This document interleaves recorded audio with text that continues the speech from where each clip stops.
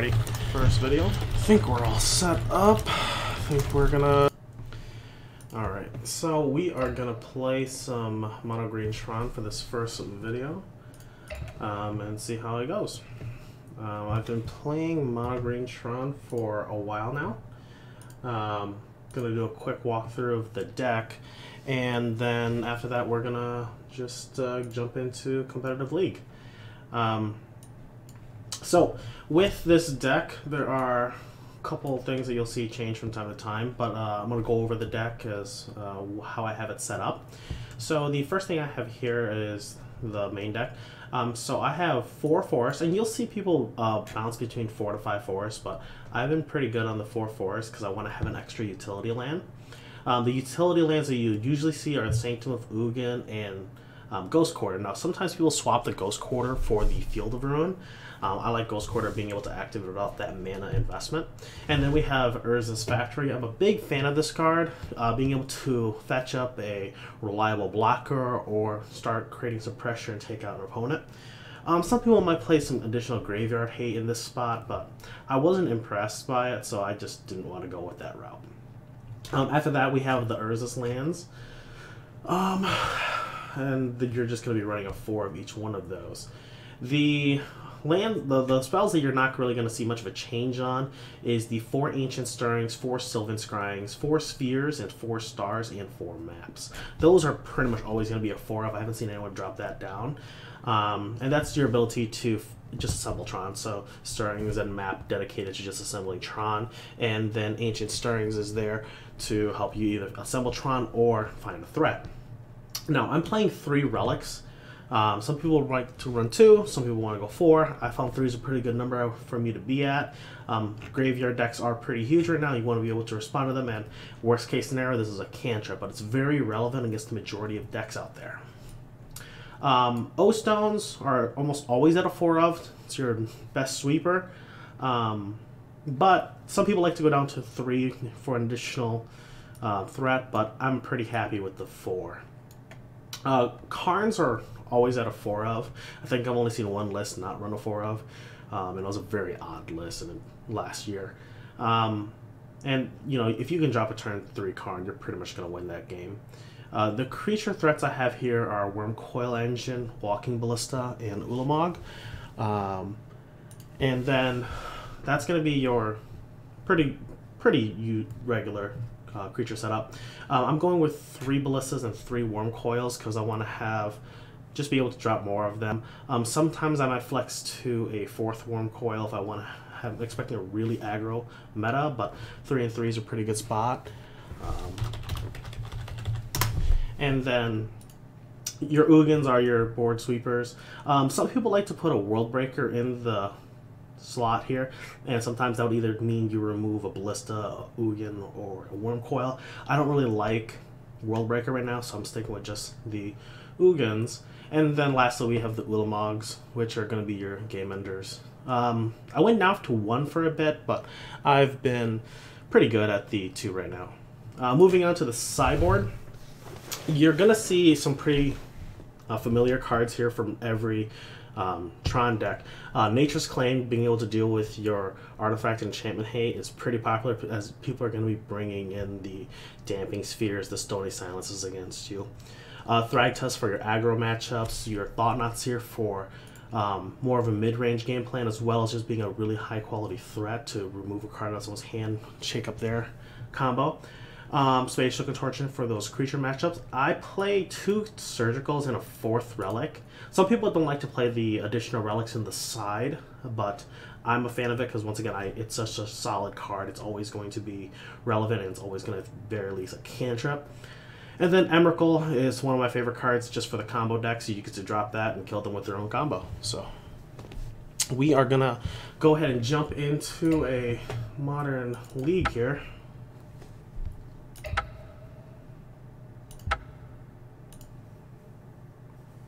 Let's see what we can find for our opponents.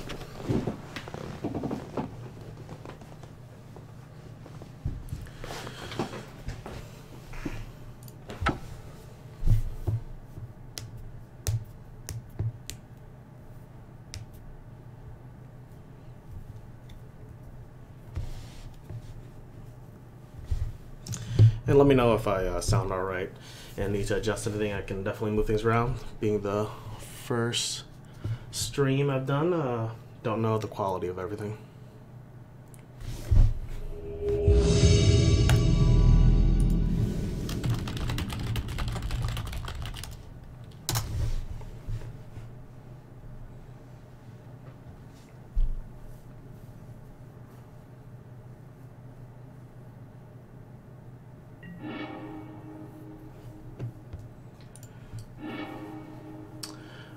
So walking through the hands I keep here, um, the usual rule of thumb is I want to be able to assemble Tron at the very least by turn 4.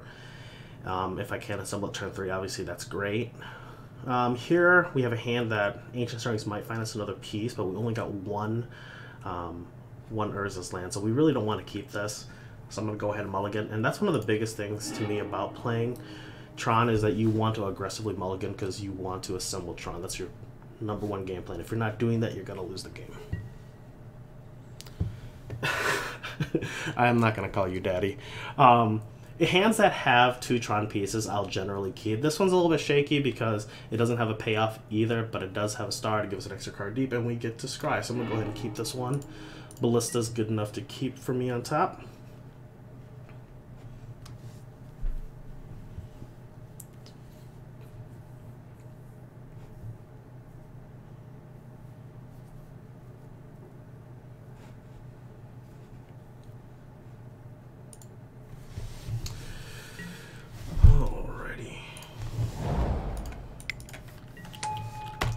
As far as like stars and spheres, if you ever have the option to play one or the other, um, you want to play the star if you have the risk of it getting blown up. Um, looks like we're against one of the aggro decks. So here I have the option to crack the star and actually get a green source. Um, I'm not going to do that because in case I draw an Ancient Stirrings or a Sylvan Scrying, I want to be able to have access to that green source. So I'm just going to be playing a land passing. Move the pickup so you can see the whole hand. It might not be mono red, uh, just because it could be um, one of the move this down a bit.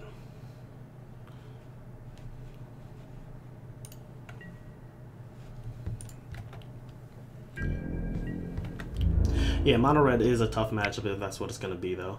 It could be like one of those uh, mono reds uh, Phoenix decks, but definitely mono red. Alright, so we wanted the access to the green, we got it.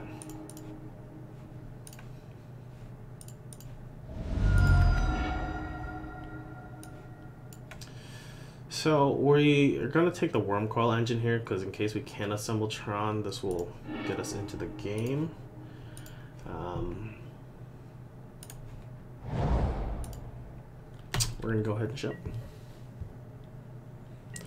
You generally are right, but not always. Looks like this is going to be a painful turn.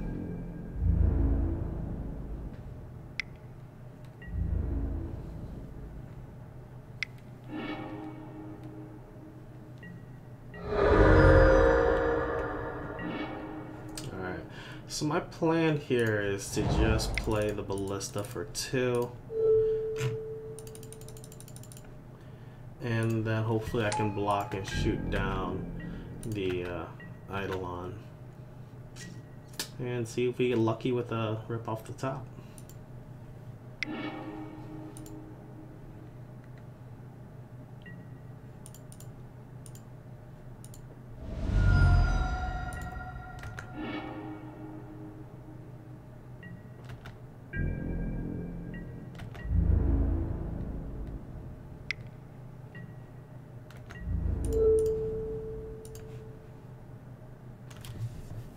Things are not looking good for us. We're gonna go down to two here, and we're done.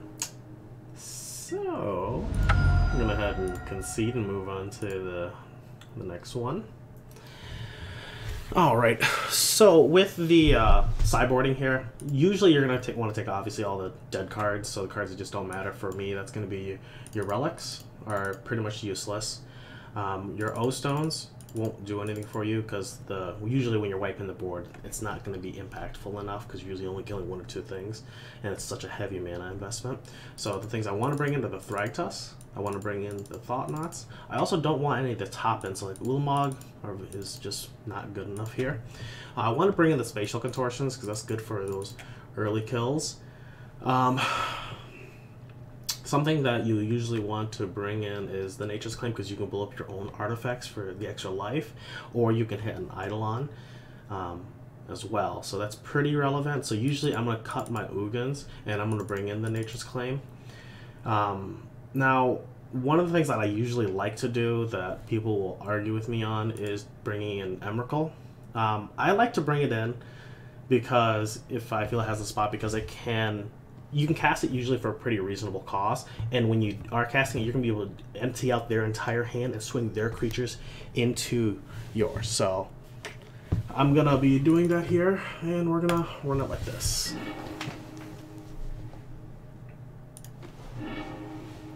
Alright, so once again, this hand's really going to be assembling Tron very slowly. It doesn't have any pieces to start with, and it can find two, but that's just not good enough for us.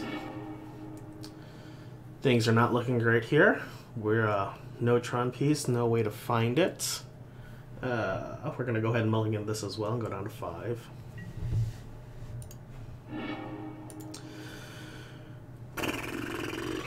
This is rough. Um, I'm to keep this, but I'm not happy about it, so... And we'll take the map on top. So because map's on top, we're not going to want to Ancient Stirrings because we actually want to grab that. So I'm just going to play the Forest here and then play the Star.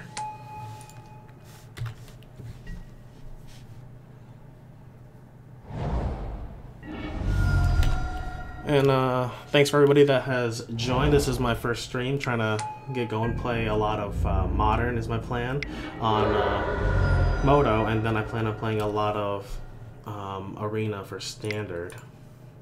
So we're going to crack the star here, get a card deeper, um, and then we're going to start this. We're just not good at Tron, assembling Tron today, it looks like. So we're going to grab the extra land, and we're going to play a sphere.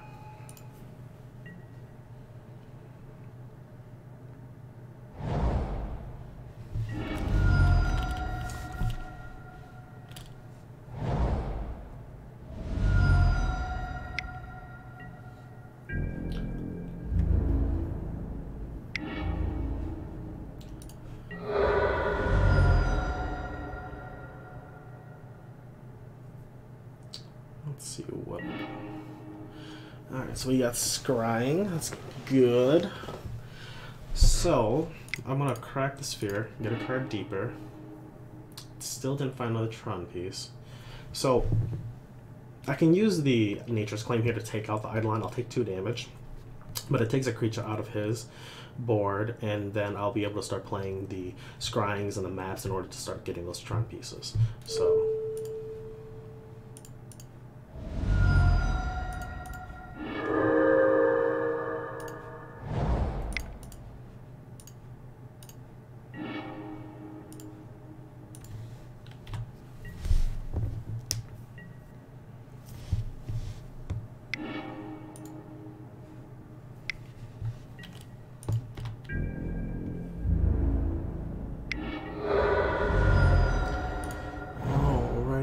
Tron piece here. So I have the option of either casting the map and then I can uh, assemble Tron next turn or I can cast a Ballista for two here and then I would be able to kill the Goblin Guide.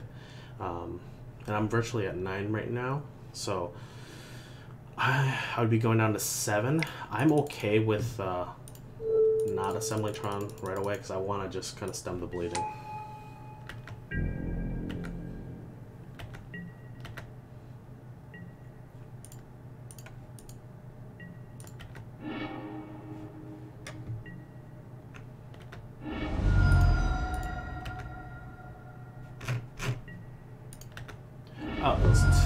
Bolts on suspend. And a spike. And another spike. So we're dead. Good times, good times. That's okay. That's okay. That's a, it's a pretty rough matchup.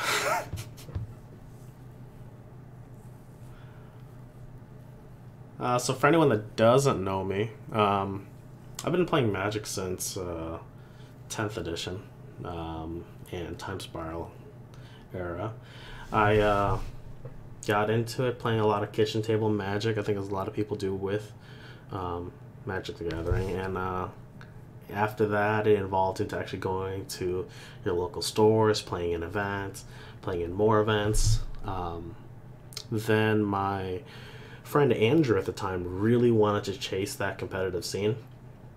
So we started going to events with him, and we would see where we it could take us. And uh, I played for quite a number of years with a bunch of friends from the Grand Rapids area, and we went to pretty much every single GP we could get our hands on, every PTQ we could go to. Pretty much if there was a magic event that was decent, it was within like 10 to 12 hours, we were willing to travel to it. Alright, so this is a great hand. We got two Tron pieces with a redundant one, and we got a map, and we got two threats. So we're to go ahead and keep this.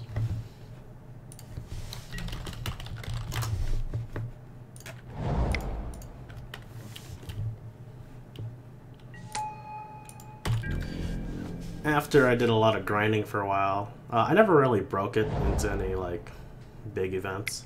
Um, I top aided a bunch of events, took down a bunch of other events, but kind of irrelevant because you know if you don't win big, it doesn't really mean much. And then um, my school and work got in the way, so then I decided to spreading seizing the tower. That's okay, we got a redundant piece. So not a problem. So I took a break for like three and a half years, four years or something like that. And then uh, I just came back to it about, a, I think it was like a year and a half ago.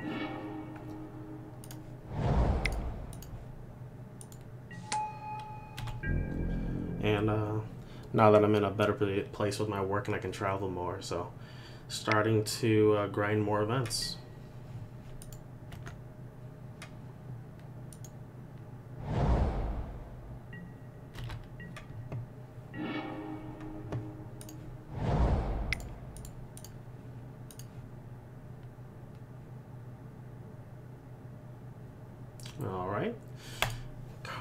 Us the game. It's great times. So this should be a blue-white control. Um, so with blue white control, my usual plan is that I want to bring in the threats that I can play early on, um, such as Thragtusk and Thought-Knots, but I also want to bring in the Nature's Claims because they're usually just really beneficial um, in being able to apply pressure and then this will take care of like whatever sideboard piece they're going to bring in to hate on us. Um, I'm usually not a fan of things that are just like easily pathable and it doesn't really create a big impact. Um, and then the graveyard usually doesn't matter that much to blue white decks. Um, so I like other than relic and I don't, usually I don't care as much about that. Um, so I'll usually board out the relics here, and then I'll also board out the um, your Wurmcoils. Then I'm bringing all these in, and then I'm bringing out Ballista for a similar reason.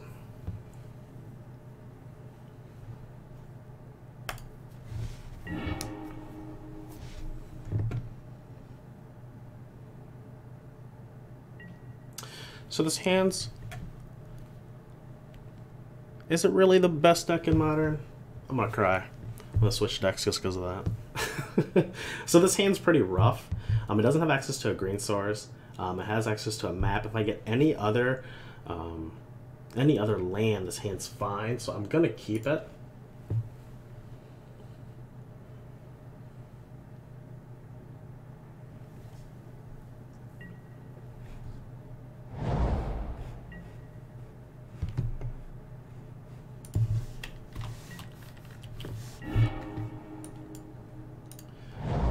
Drew a sphere, which is great. So we're going to play that. And then that way we can either lead with the uh, Scryings or the Ancient Stirrings next turn.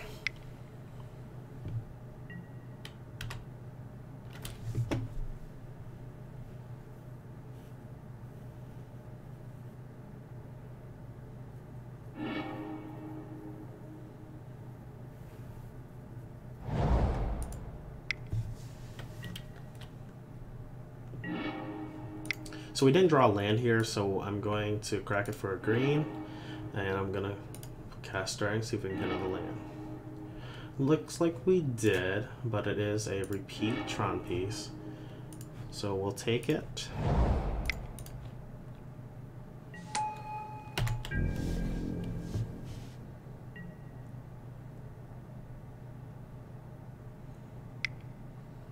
Uh, the new set's legal now, so I believe. So I'm curious if the, what's gonna happen to modern, if there's any shakeups. I'm particularly excited for Vannifar. I've already picked up the entire deck. Uh, we drew another Tron piece here, so we drew the mine. So we're just gonna ship it back to our opponent's turn, and then we're gonna fetch up the tower so we can assemble Tron.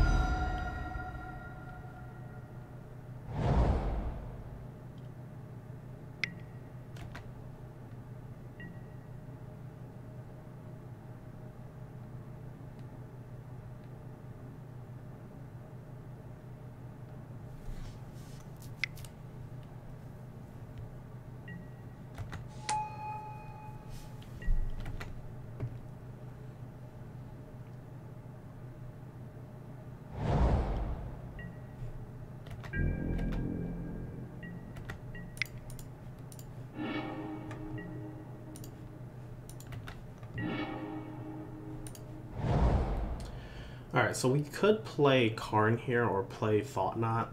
Um, Karn should be a pretty good way to end the game, um, but he could mana leak it or negate it. Um, I feel like leading off Thought-Knot's the safer play. And then that way, if it does resolve, I would be able to snag whatever other uh, counter spells he has out of his hand, and if he has mana leak, I can obviously pay for it. So.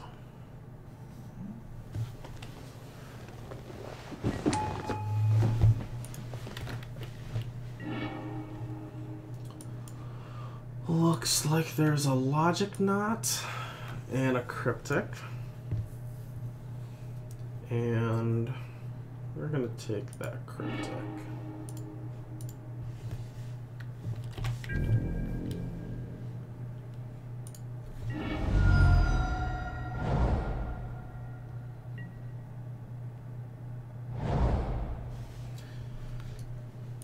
So let's I'm what they will Field of Ruin. So like the correct play is usually you'll take out the uh, lower cost um, Tron piece, the one of the two, so then they have to invest the three into it. So, but if the opponent does make the correct decision here, they would get punished for it because we have another mine in hand.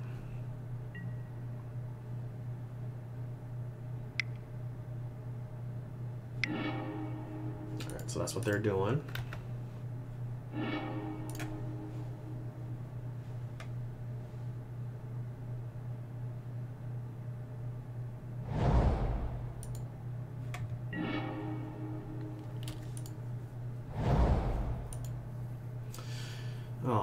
So we have the uh, option of playing uh, either Karn or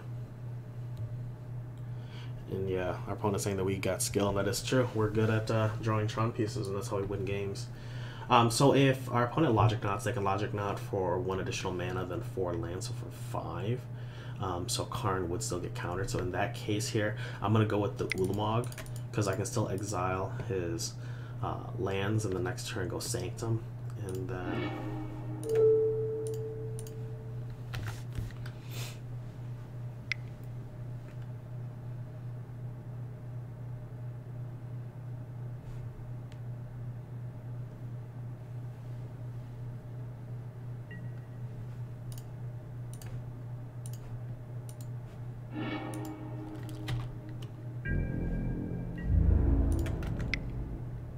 So opponent has one unknown in hand, and then an island and a colonnade.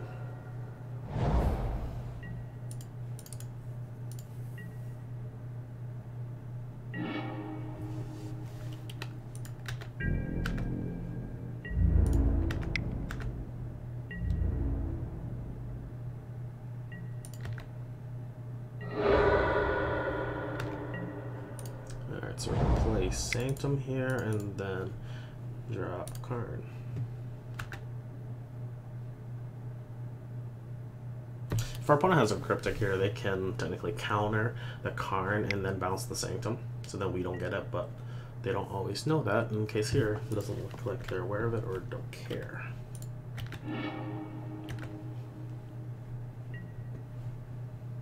I will sacrifice, and um, I can go get another Thought-Knot here and cast it right away, and then rip another thing out of his uh, card out of their hand. But Ulamog should be enough to end the game next turn.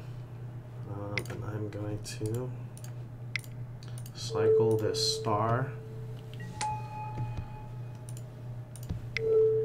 And then we're going to see if we can get something off of this stirrings as well.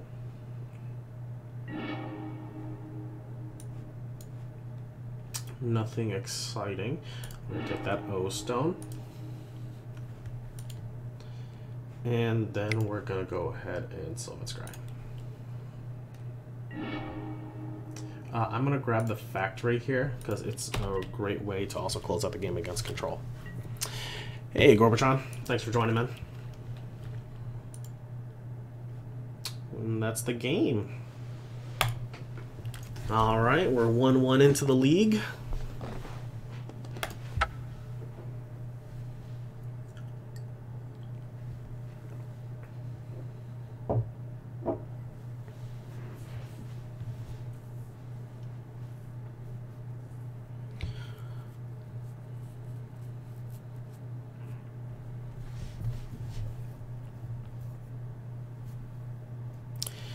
If I got a haircut, I got a haircut last week. I'm still using the same haircut. I use a undercut with a zero on the side with a fade. Alright, so this hand here has one Tron piece, another land, and then it has uh, an expedition map. Um, I'm going to move my screen up. And Reese was saying that it was blocking the view a bit, so we're going to move me up here. That should be better for you guys. Um, so we're going to keep this. So yeah, I got it trimmed up, which might make it look different, but it's not, I guess it's not a new haircut by any means. But I am lazy in between haircuts sometimes, so my sides do grow up, so it does definitely look like a different hairstyle.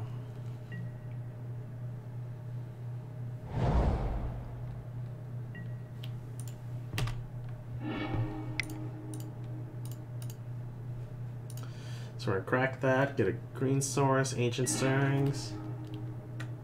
Oof. Alright, so uh, we already have uh, two uh, threats, and we have uh, this map will probably be good in case we fail to get another Tron piece here. So we're gonna stirrings again, and we got a Tron piece. That's great. So our next turn we'll just go mine into map into tower and then do a turn four Tron. And if this is mono red burn, we'll be dropping the Wurmcoil. I wish my hair was always perfect. Keep make my life so easy. Oof, that's rough. They're chalice on one. oh, that's a bummer. Alright, so um, this is probably free win red then. So we're gonna play an O stone here, and we're gonna see if we can get up to five mana to crack it.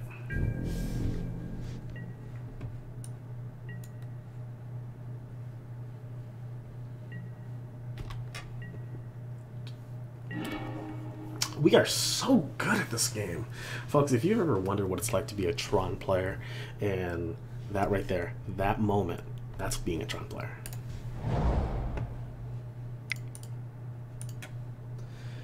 And we're going to Karn here and see if they concede. They do. This is great. Quality magic right there, folks. Quality magic. Alright, so this is free win red. So this should mean that they're on like the Simian Spirit Guide, um, rituals to power up like a really relevant three drop like Blood Moon or well, like the Rabblemaster or the Chalices. Um, so here I don't really care about the relics. And then realistically, I'm not going to be casting my top end cards.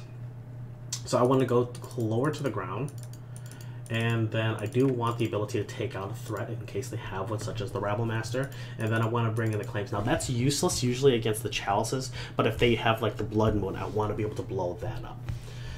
Um, after that, we got to cut some additional cards here. Um, I once again, I'm gonna cut the top ends because I don't necessarily need those cards, and then the other card here that I'm gonna cut that I know a lot of people will be mad about is the Karn. It's just not uh, card that I want to be casting this matchup. Usually, if I can get a creature onto the board and then just stay um, stay alive and beat them down with it, that's gonna win me the game. I don't need to just exile their stuff. And I'm keeping the O stone in here because I want to be able to blow up the board, um, such as taking out the blood moon, taking out the chalices.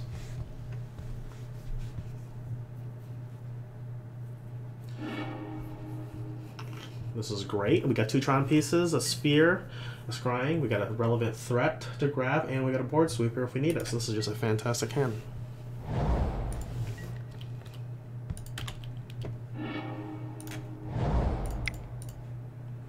And so we're just going to lead off with a sphere and just pass it back to our opponent. And then next turn we'll drop the tower, crack the sphere, um, get a scrying, cast off, and then we'll assemble Tron.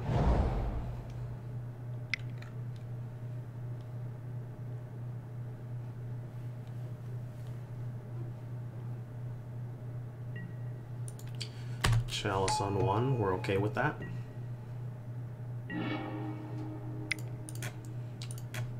Green, tower, scrying, and we're going to find that power plant. And then we're going to ship it back to our opponent.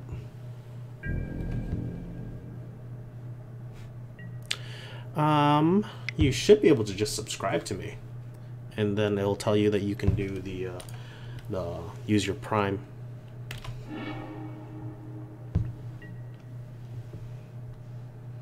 So that's a blood moon from our opponent, and we're okay with that. Um, we're going to just lead off with the other piece here, and then um, we're going to cast O Stone and then pass it back to our opponent.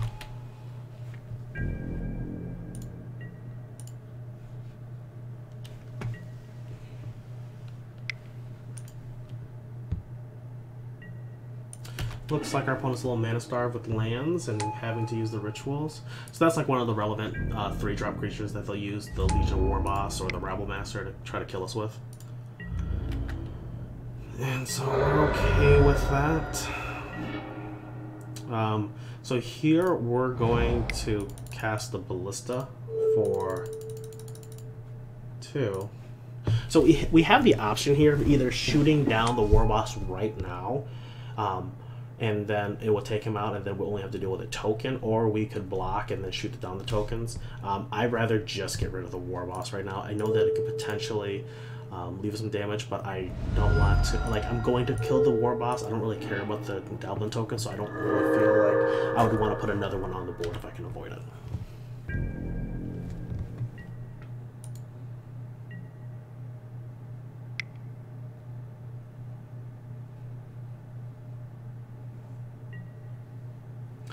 So they're going to blow up our Oblivion Stone, which is just extremely rude from our opponent.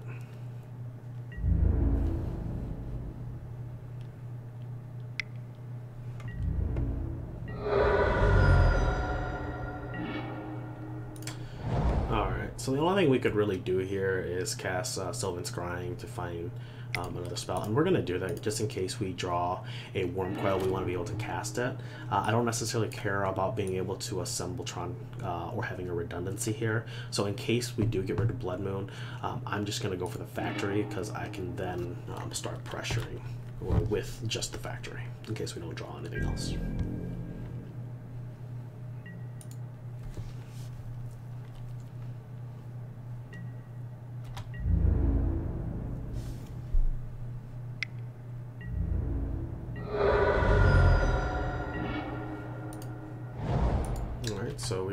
spells that would get countered, so we're just going to play our land and ship it back to our opponent.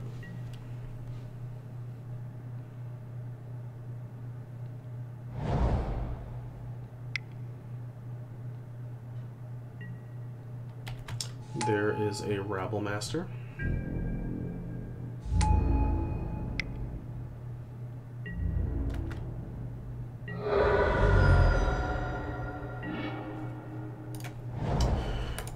Could really use a threat.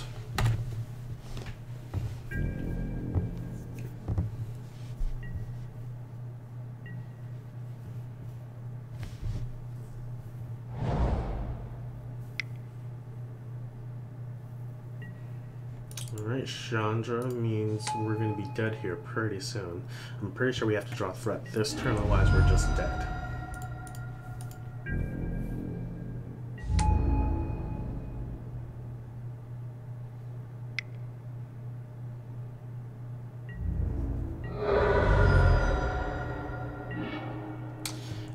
That is an O stone with us only having seven mana. So we are dead. So I'm gonna go ahead and um, concede to our opponent. Move on to the next game.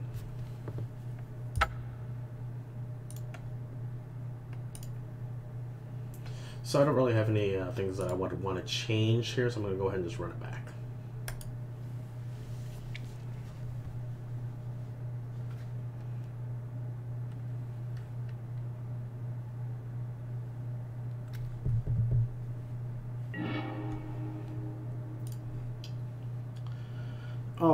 So this hand's a little awkward. Uh, we only have a map and we can't activate it on turn two.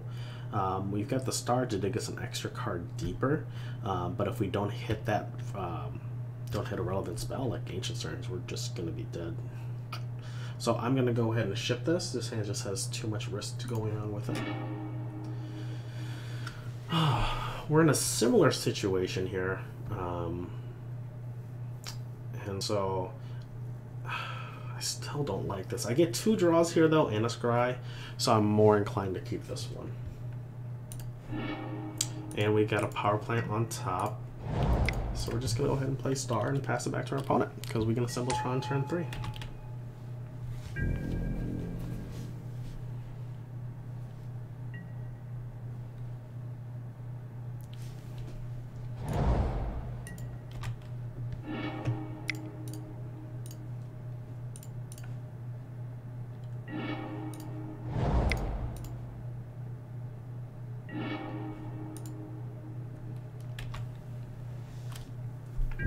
To try to get on a regular uh, streaming schedule here. Uh, my plan is to stream Sunday nights after I finish all of my homework. And then I'm to try to stream one more day during the week, depending on my work schedule. And that'll probably be either Tuesday, Wednesday, or Thursday, depending on what I have available. Uh, any uh, streams that I do, though, I'll make sure to record it and upload it on my YouTube channel.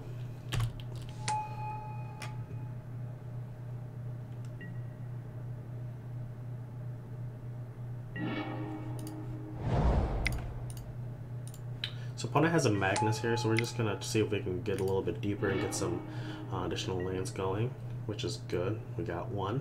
Um, and the reason I wanted that was to be able to play the Ballista for two and take out the Magnus. So I'm just going to go ahead and ship it back to them right now.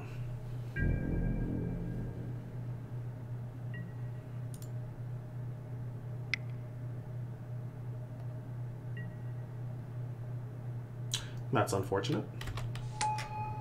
They got a spell Spellskite to prevent us from doing that.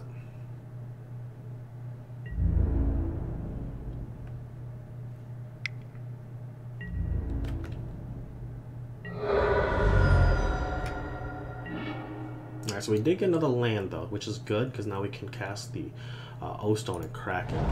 Um, I'm gonna go ahead and just cast the O-Stone and we're gonna see if they have an a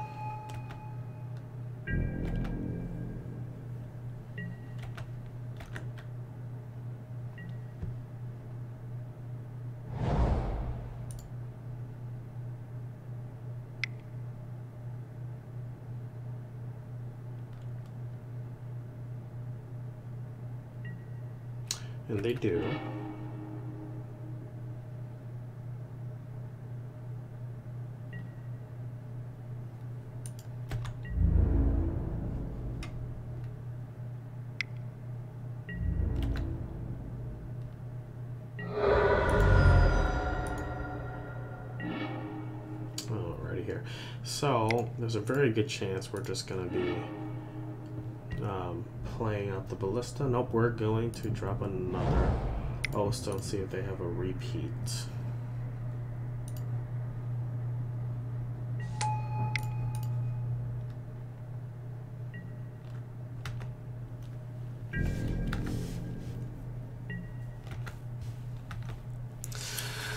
So, how's your guys' weekends going? You guys, uh, for anyone that's in uh, Grand Rapids here in West Michigan, we're expecting a pretty nasty snowstorm, I guess, this week and tomorrow. So that's going to be a whole lot of fun this week. Alright,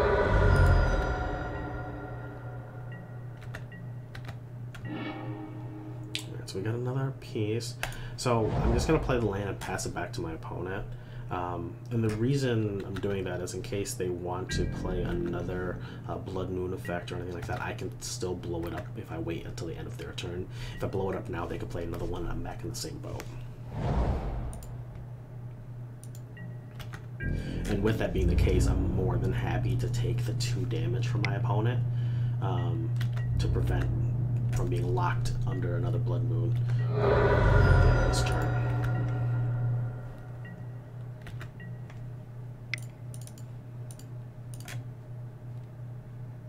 I'm going to crack the sphere here, because sphere does have to actually be activated in order to get the draw effect, where star can just be destroyed.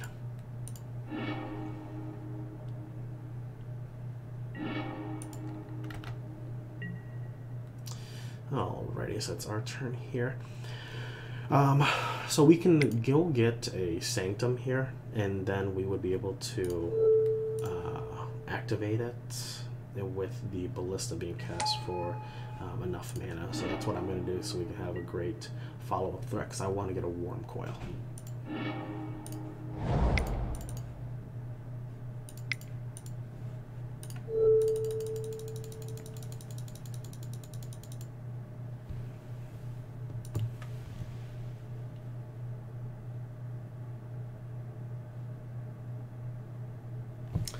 You are a brave man for or woman for being able to uh, drive in that snowstorm while uh, getting your CDL. That's gonna be really crazy for you.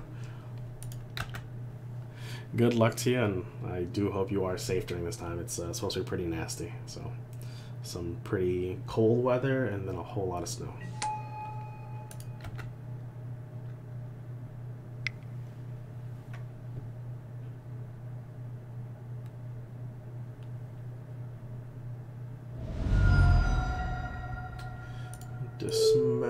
Which means we're just going to be shooting our opponent for a bunch of damage.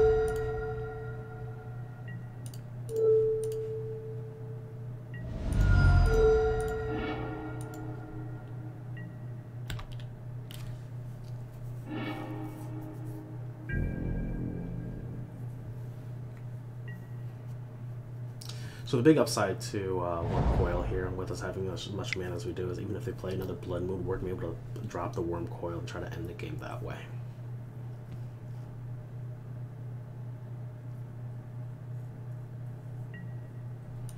Chalice on one.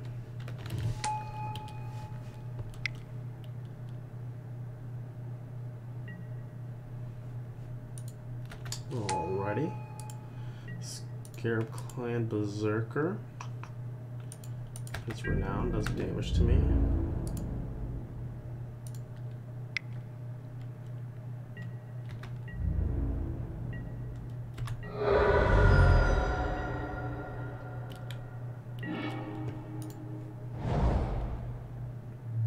So this is pretty good. We're going to be able to go Wurmcoil and then also into a Ballista.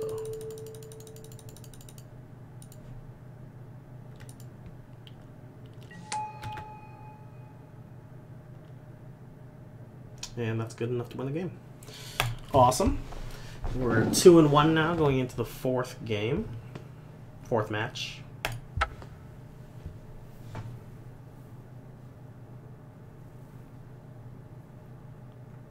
and I'll be predominantly playing Modern on this stream. Uh, Modern's my favorite format. It's been my favorite format for a very long time. Um, I'll definitely try to you know change things up by playing different tier decks, uh, different brews, and then seeing what else will pop up. And if people want me to play particular decks as well, I'm more than happy to accommodate. Just let me know what decks you guys want to see.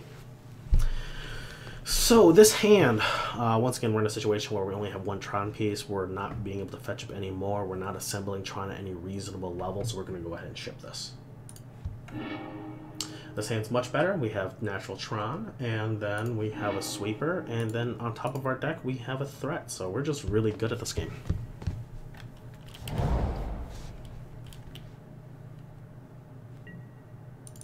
I think this is the same, same blue-white player that we played just a bit ago.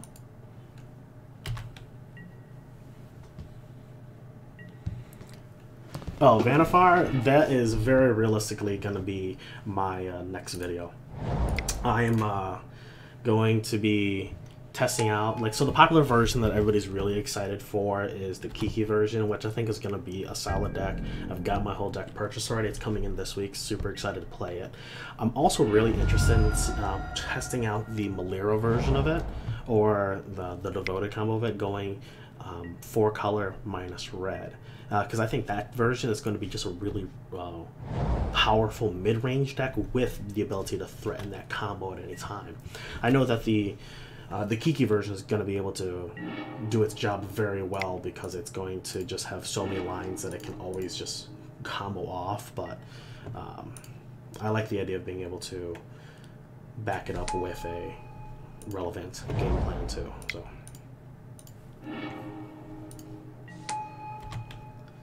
The other brews that I've been uh, trying to um, piece together in Paper Magic is um, a Heartless Summoning deck. It was one of my favorite decks in Standard. Was uh, Havengul Lich, Perilous Myr, and um, Heartless Summoning. So then, you, once you have Havengul Lich in play, Heartless Summoning in play, you can pay one mana, target the Perilous Myr, shoot something for two, and you can just repeat this for every mana you have at sorcery speed. Um, so big fan of that deck. I've been trying to create a version of it that I can play in um, in Modern here as a combo deck. So excited to see what we can do. Um, gonna drop the Wurmcoil, see what our opponent has.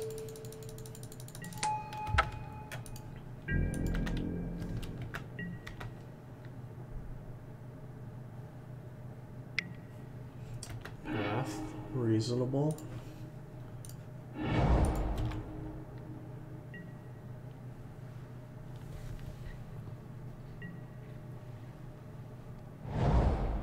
Yeah, I think so as well. It's um, like the ability to just be able to fetch up anything with birthing pod is going to be just amazing. And then let's cast this big boy. And then having multiple lines of the, they have to respect different combos within the deck that you can fetch up at any time, while having these great combo, uh, these great uh, just answers to your opponent. And then your sideboards is going to be filled with tons of one ofs that you're going to be able to fetch up at any time and just go, hey, you're not doing that anymore.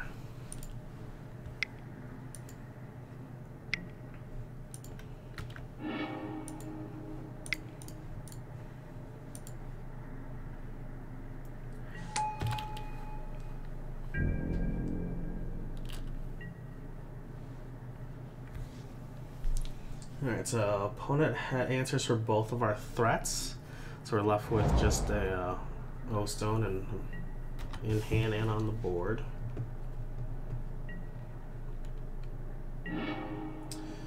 Alrighty, so we're good and got an Ulamog. Let's see what we got from the star. Okay.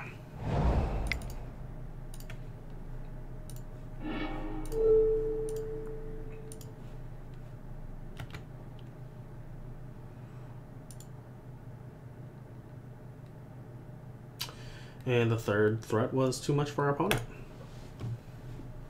So blue-white control gun, so I'm doing the same thing I did previously, where I want to take out the pieces that I uh, don't feel is that relevant. So thought I'm bringing in Thought-Knots, I'm bringing in Thrags, and I'm bringing in the Nature's Claim to, to deal with them, and then I'm taking out the pieces that usually just soft to the path. It's not super relevant, and I just want to deal with them that way. So. Why am I not playing Tron on Arena? Did I miss something? Is Arena on a on a uh, modern now? Or is there a new deck and standard that is uh, Tron? It's...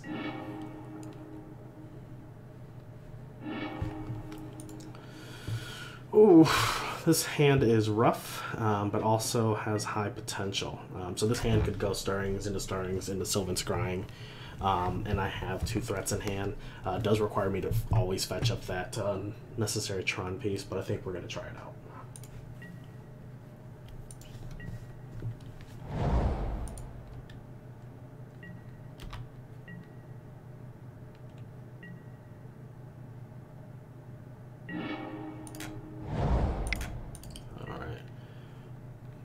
Did not hit a Tron piece, but we're going to grab that Thought Knot and ship it back to our opponent.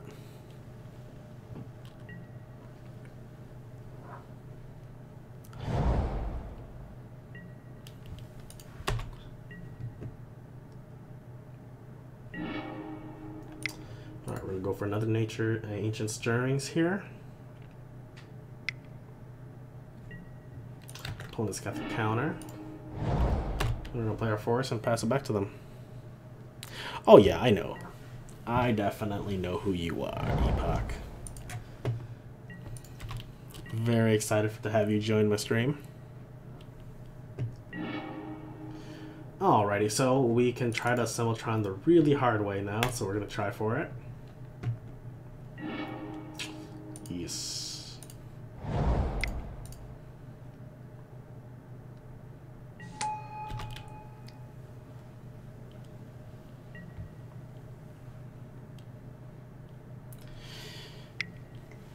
And I know I also don't have all the bells and whistles that comes with a lot of the streamers out there, but I am definitely working on some of that stuff. Definitely try to have more and more as we go along here.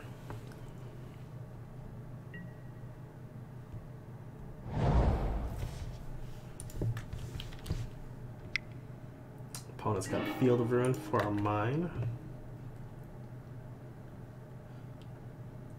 Which is just rude, opponent.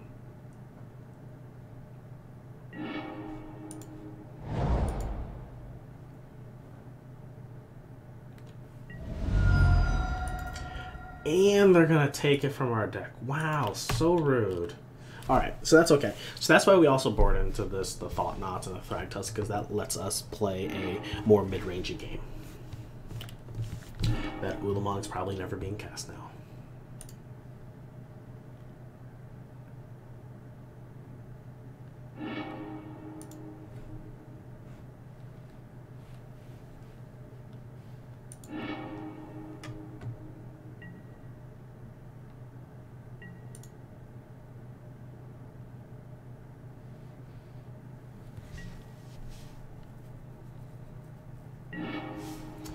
Alrighty, so we got a power plant. We're just gonna play that, and we're gonna try to see if we can just resolve this long time.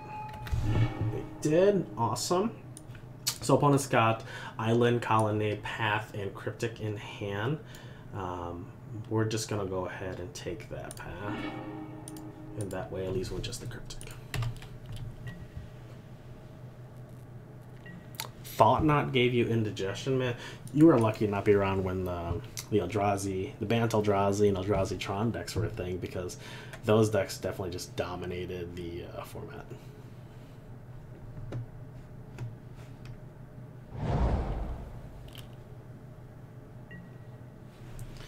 Yeah, I love that Taxes deck that uses um.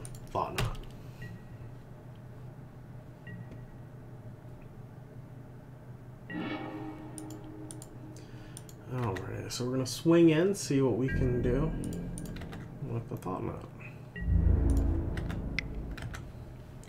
And the fact that they can start blinking it too to just exile the other hand like the uh, Eldrazi deck did. Alright, so when I do have um, all my Tron piece, one of my Tron pieces surgical. Uh, my next step is usually just just get my um, utility land, so then I can eventually get access to them and do things with them. So uh, I'm going to grab. You'll either want to grab the Sanctum or the Factory normally. Ghost Quarter is relevant here if you need to take out a Colonnade, but I feel pretty good with where we are, so I'm gonna grab the uh, Factory here.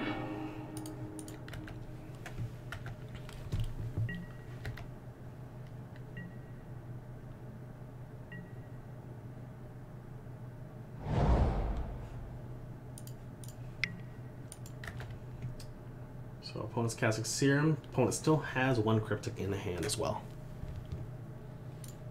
Do you splash blue for Hydroid and Tron? You know, uh, my friend Andrew and I have talked, and um, a couple other guys from our team, uh, Team Swish here, we've talked about this blue-green Tron deck where we get to just play like Nissa that you can pay X into to do stupid stuff.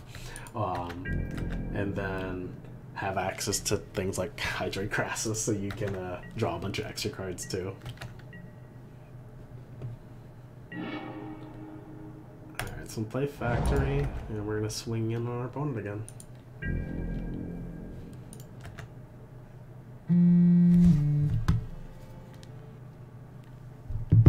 Sorry about that. Pretty sure that was a uh, robocall.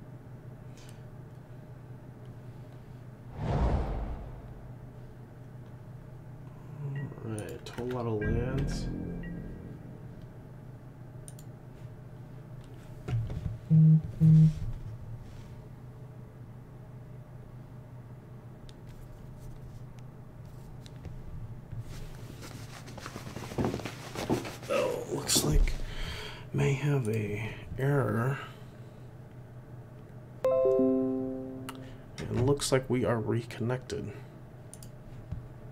So I'm gonna pause on playing real quick while we see if we can get the stream back up and running.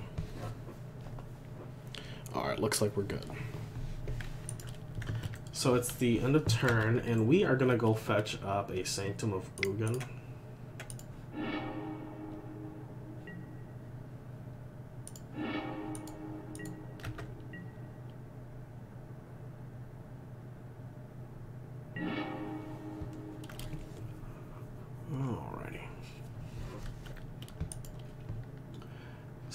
Opponent wants to trade Colonnade for Thought Knot, draw a card, they wouldn't be able to cast Cryptic. Um, so in that case, if they don't have uh, a negate in hand, we'd be able to resolve a Karn, which I would be pretty happy with.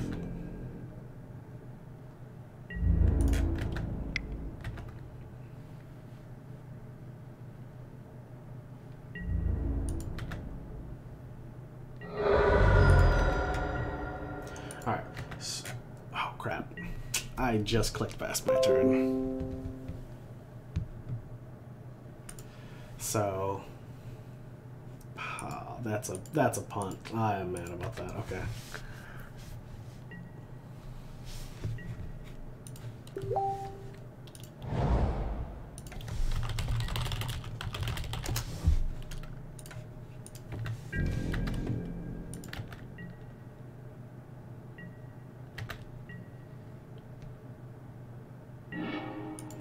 So once again, we're going to try to just swing here.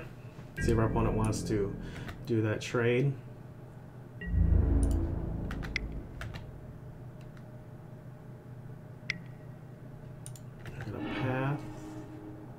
And we still have a forest, so we're going to fetch that up.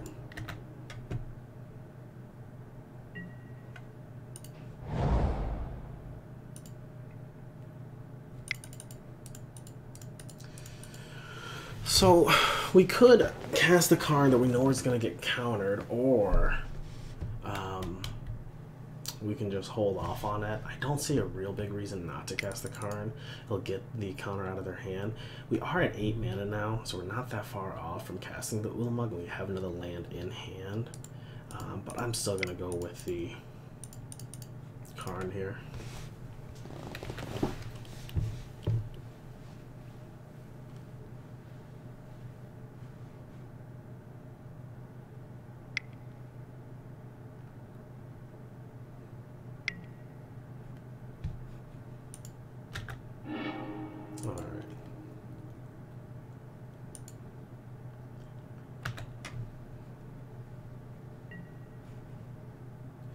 So if we sack this, we can go get probably Thought-Knot um, or an Ulamog. We already have the Ulamog. So I'm actually, I'm going to hold off actually, not thinking about it. Because I'm next turn I'm going to go to 9 mana, then I'll be at 10 if I get one more land, and I'll be able to then take out both colonnades with uh, Ulamog and then uh, be able to just uh, settle in from there.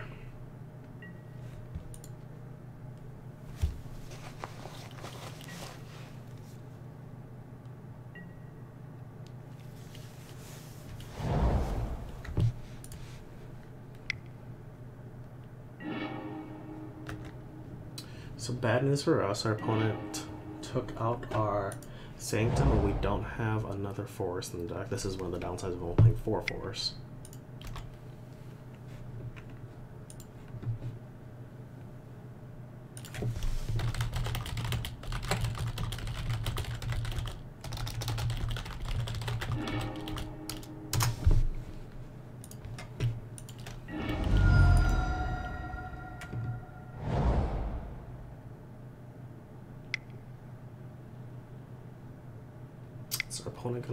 The aggressive here?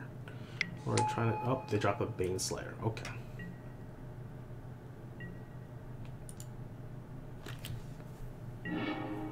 So we are okay with this. Three, four...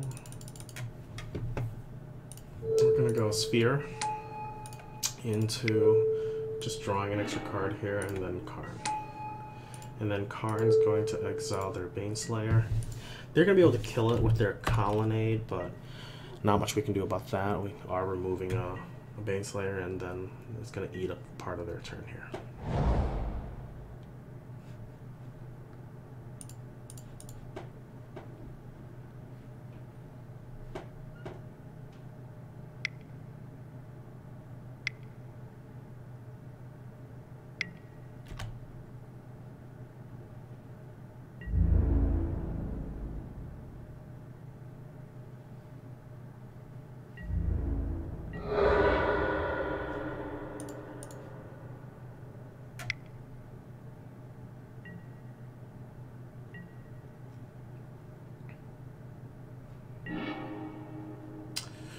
Opponent got a Stony Silence for us.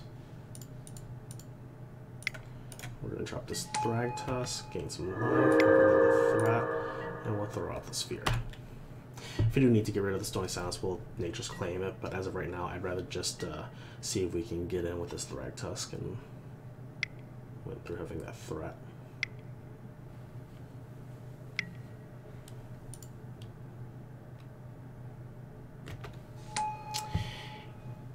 Hey, Comrade Juicer.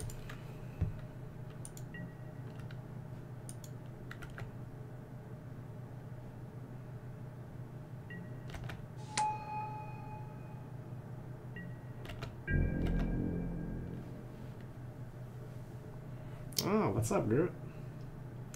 Awesome, so we got that game. So we are 3 and 1 now. Trying to go for that 4-1 profit league.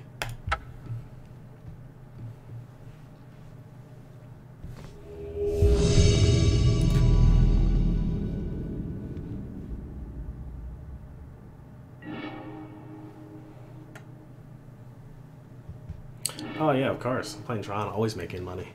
Alright, so this hand, once again, it doesn't have any Tron pieces. It's not going to be able to assemble Tron reasonably, so we're going to go ahead and ship this. This hand has a chance of assembling Tron. Um, it's like the other hand we had, where it's going to require stirrings to find a piece. We got to draw a piece, and we got a Sylvan Scrying for it. Um, I'm not really happy about this hand, but I think I am going to keep it. And we got another Stirrings on top. Like we got another mono red deck. Oh my goodness.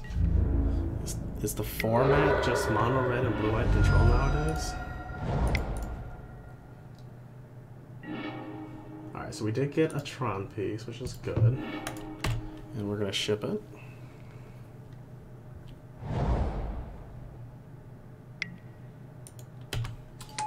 Runaway red. Okay. Um, so if anyone has never played Tron, uh, as far as sequencing Ancient Stirrings and Sylvan Scryings, I should have gone over this earlier, but you almost always want to cast the Ancient Stirrings first because it's going to let you pick up the card. So here, Stirrings could either find us a mine or a tower, and then the Sylvan Scrying can find the other piece for us. Additionally, I want to cast the sphere here um, and crack it right away just to get an extra card deeper, letting my Stirring see just an, uh, one more card deeper, so which is relevant.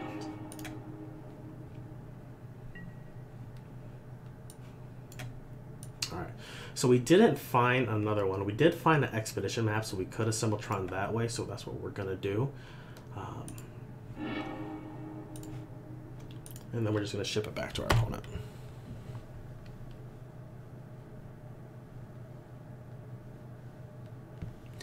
Yeah, I heard mono red is just like the deck to play in standard now with the new format. And yeah, if, uh, if mono red's the only thing being played in uh, modern right now, so I'm gonna have to change over my main board and sideboard quite a bit. Oh, I hope he notices me then if he's gonna become the Steam Senpai.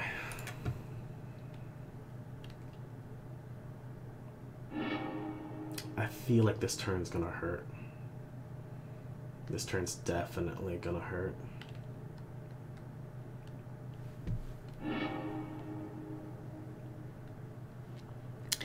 Yeah, I actually am very interested in that um, uh, the mono red uh, Phoenix decks or the blue red Phoenix decks. I think they're just great.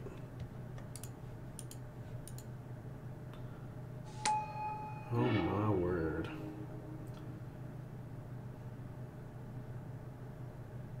Do they have enough to kill us?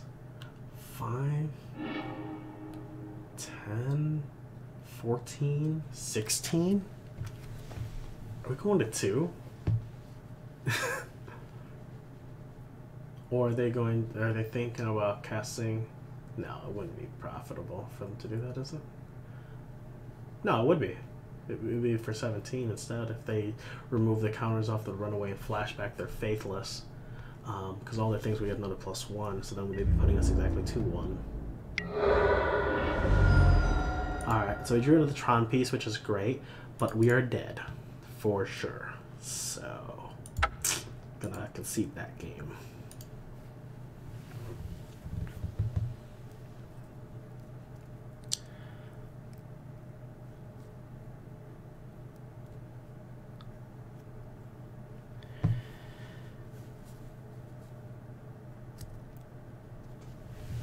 there was thought for um, the Wormy Boy, but like I always want to just try to be assembling Tron. So if I can't assemble Tron, it doesn't matter if I'm getting Wurmcoil or I'm getting another threat. And at that time, I needed the Expedition map to finish uh, assembling Tron. Um, so that's that's kind of where I was at with it. So this matchup, they have Bedlam Reveler um, and Faithless Looting. So I don't know if uh, keeping in the relics is good enough. I definitely know that I want to bring in the Thought-Knots, the Thrags, and the Spatial Contortions here um, to just kind of take care of it. Uh, all their stuff. Um, I think that if I can pressure the board soon enough, I won't need that. I definitely wanted to get rid of my top end, though, because that's just not going to be that relevant um, to get rid of their... so I can stay in the game. I'm going to try getting rid of relics this time around uh, focusing more on just having the board presence on the board rather than trying to focus on having it um, taking out their graveyard and stopping them from doing what they want to do.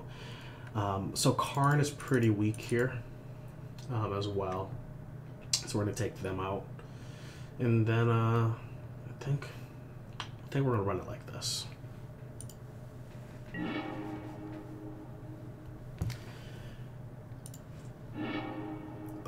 We're on a no lander, so we're gonna go ahead and ship this.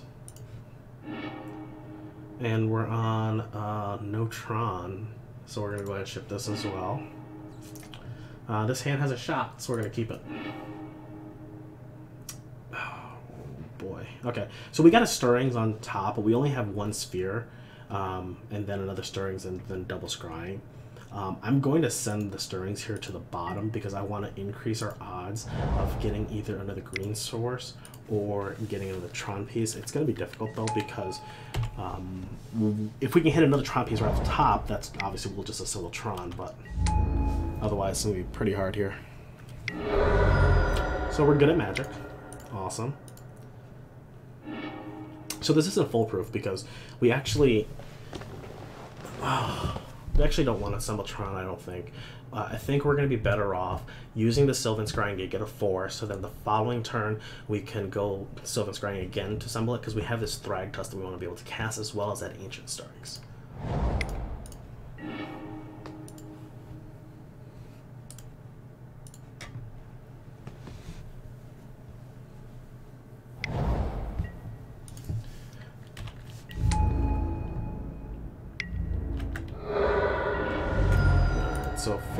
Here into Sylvan Scrying for a tower, and we're going to ship it back.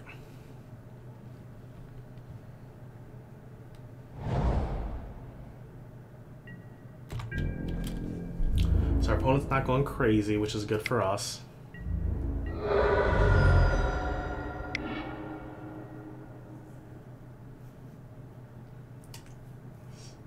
Light up the stage is so interesting. Everyone seems to be pretty split on that card, though. Alright, so we are going to play our Thragtusk, and then uh, Spatial Contortion, the Runaway that has two counters on it.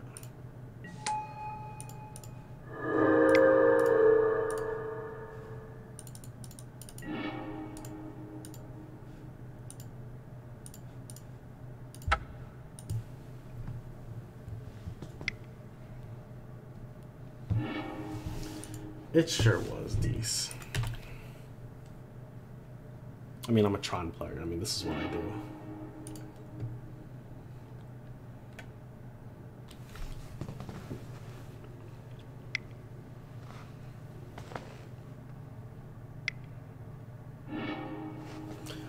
When it's got a Blood Moon.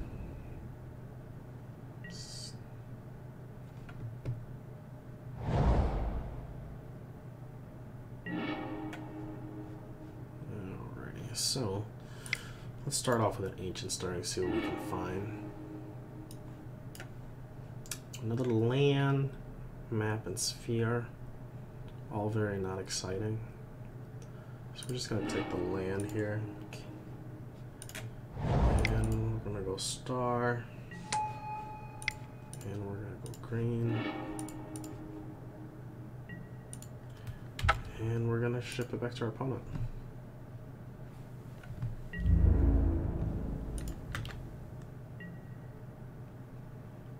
And I really don't want to attack here just because of their ability to just generate so much power on the board, so I'm more than happy to wait. They are bolting us. Generating mana. And they got a Reveler. Okay. Making our life difficult.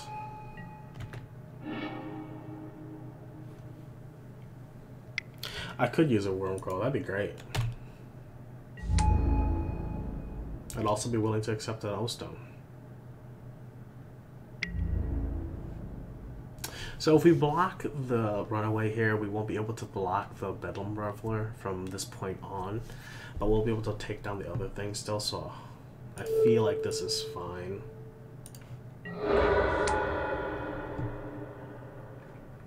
Not good enough to get a Wurmcoil. So we're going to ship it back to them.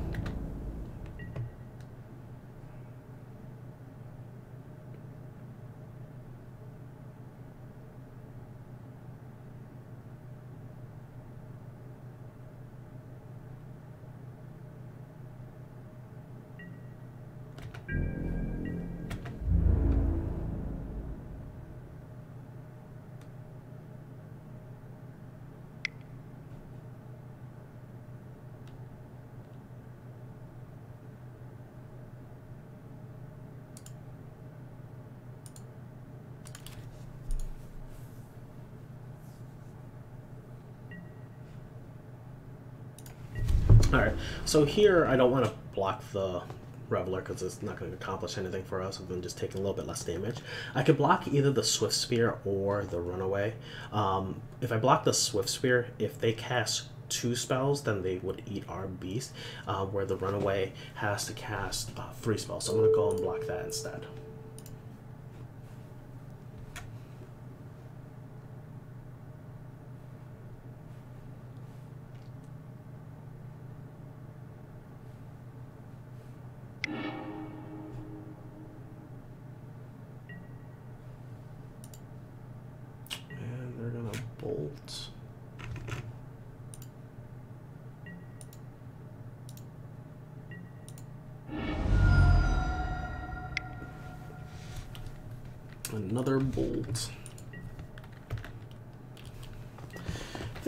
Bolts. I find it interesting they just didn't shoot the beast.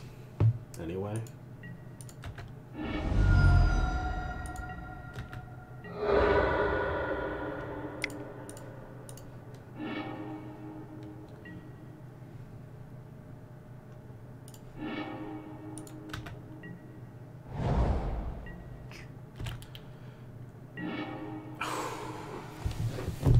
needed a Wurmcoil right then. So, unfortunately, that's game for us.